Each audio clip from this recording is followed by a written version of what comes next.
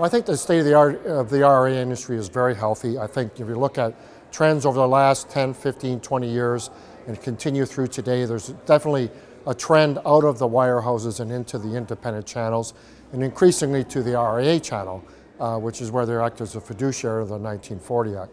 And I think that trend will continue and I think the Department of Labor proposal uh, you know, will create complications, particularly for those in the wirehouses and the broker-dealer model uh, with, when they're dealing with IRA accounts. And I, but I think the RIAs are very well positioned uh, to manage through that and, and thrive in that environment. Uh, well, I don't think the regulatory change is going to create hurdles. I think it, it's going to create impetus because I do think they're going to have to change the way they operate.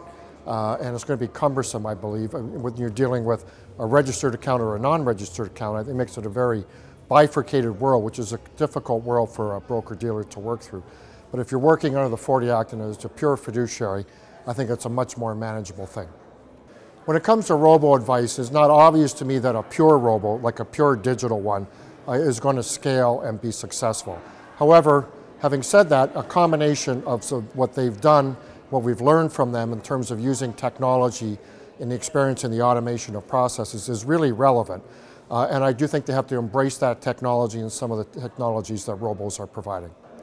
Well, you know, I, I, continue to say, you know, the trends are in their favor. I always tell our, our management team we invest into the secular trends, and there's a secular trend towards independence, and there's a secular trend towards uh, the RIA model, and I don't think that's going to change. So I think there continues to be a good growth opportunity. I think secondly, uh, when you're, you're basically acting in the best interest of the client, that's always the best place to to position yourself and to uh, work with clients and to be successful in the market, particularly in this environment where the financial services industry uh, and the banks in particular have a bit of a black eye uh, coming out of the 2008 uh, recession.